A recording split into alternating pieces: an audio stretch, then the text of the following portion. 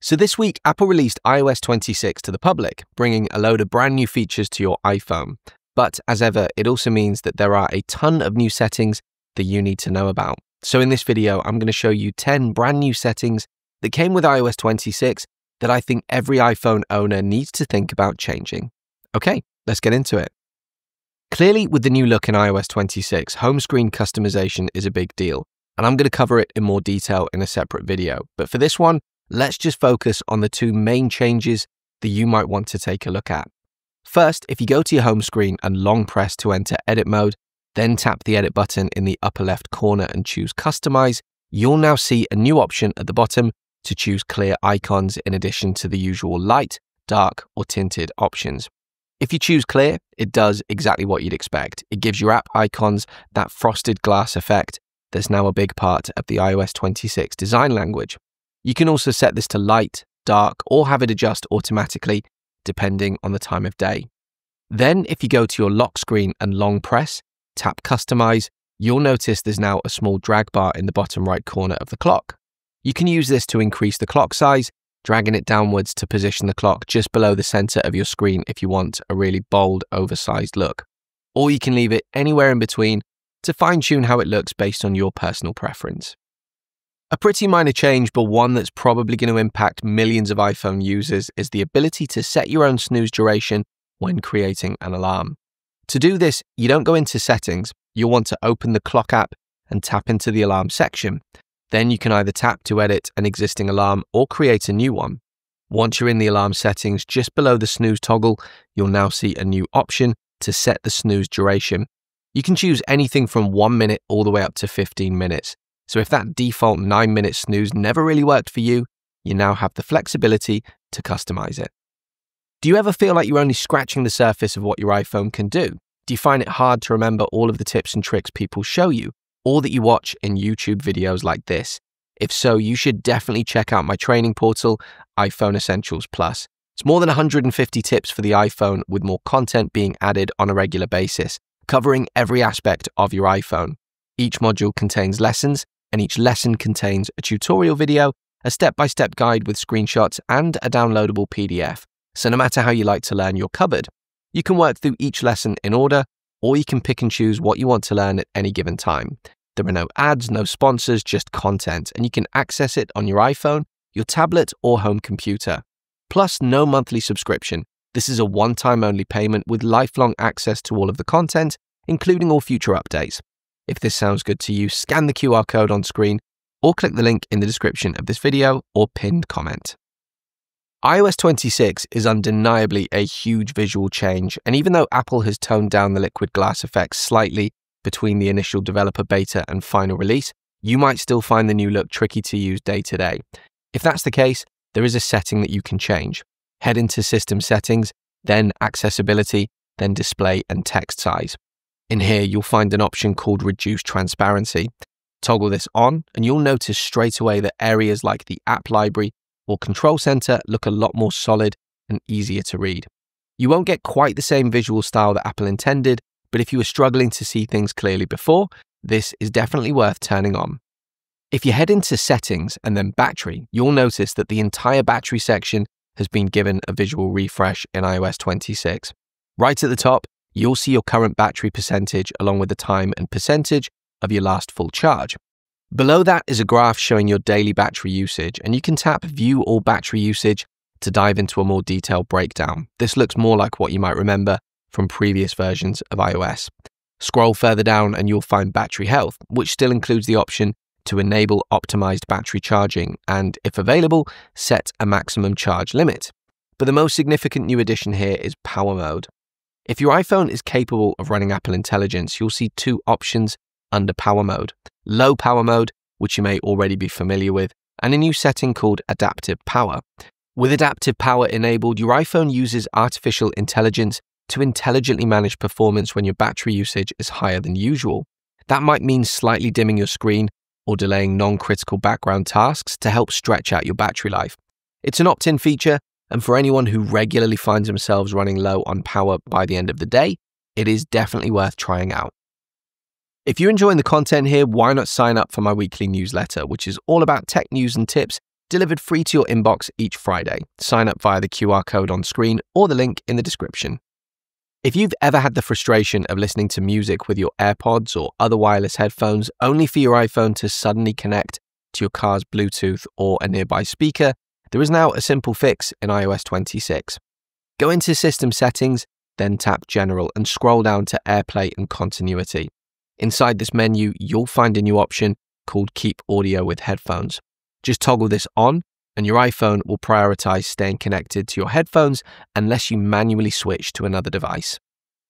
Apple has added a brand new section to settings in iOS 26 called Screen Capture, giving you greater control over how screenshots and screen recordings behave on your iPhone. To access it, go to Settings, then General, and scroll down to find the Screen Capture option.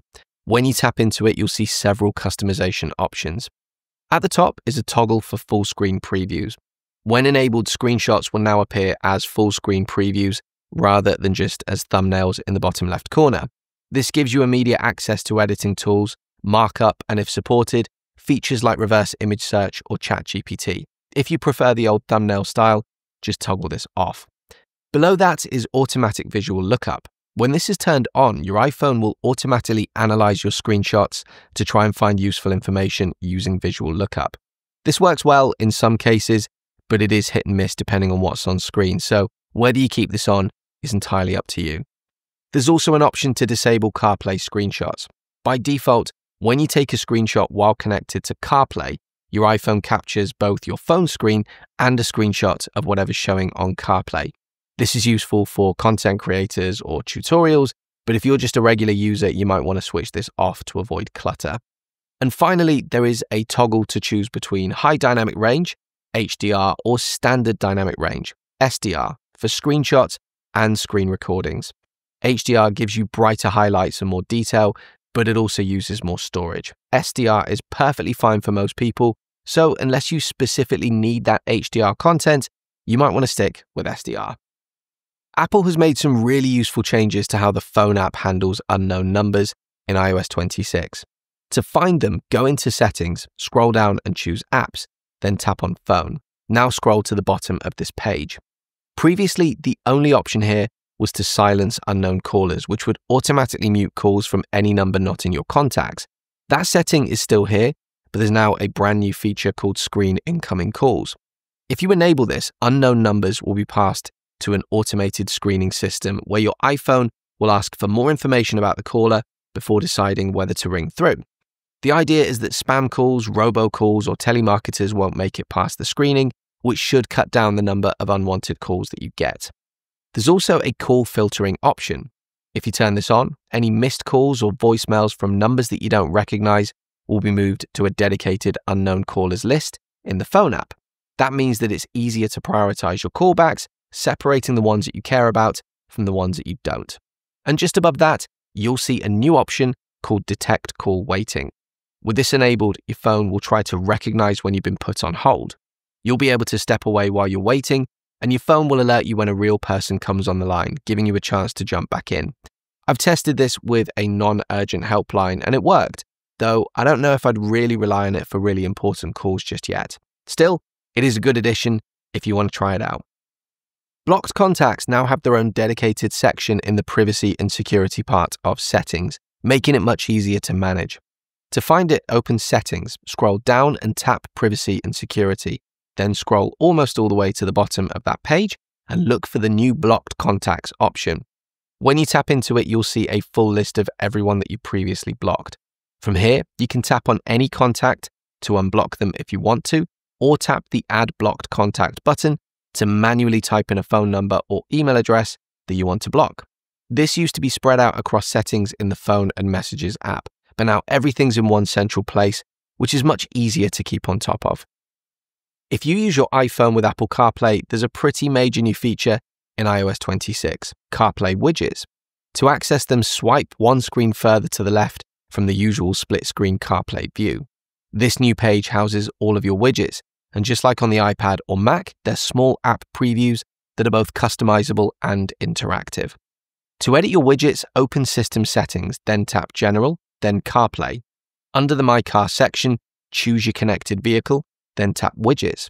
you'll see your available stacks, and the number of these depends on your screen size. On our car, we get two, but I've seen some setups with wider displays that have three. Each stack can hold multiple widgets. Use the drag bars to rearrange them, tap the red minus icon to remove any that you don't want, or press Add Widget to insert something new. I was surprised by how many widgets were available here.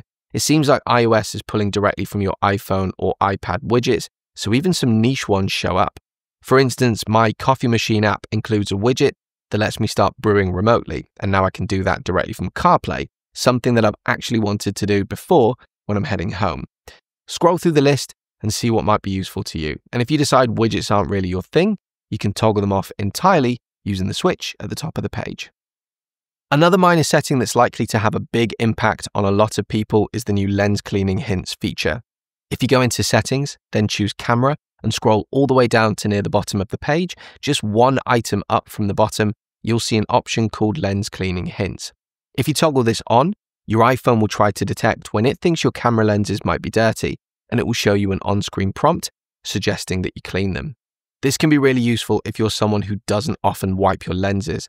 They are glass after all, and while they do a good job of resisting dirt, it only takes a smudge from moisturizer or a bit of grease to really affect your photo quality. So there you go. That was 10 settings brand new in iOS 26 that I think every iPhone owner needs to know about. What do you think? Any settings that I should have included? Drop me a comment and let me know. And don't forget to check out the channel for loads of content all about all of the new operating systems that have launched this week. And as ever, if you found this video useful, do please consider leaving me a like and subscribing to the channel for more content like this in the future. See you on the next video.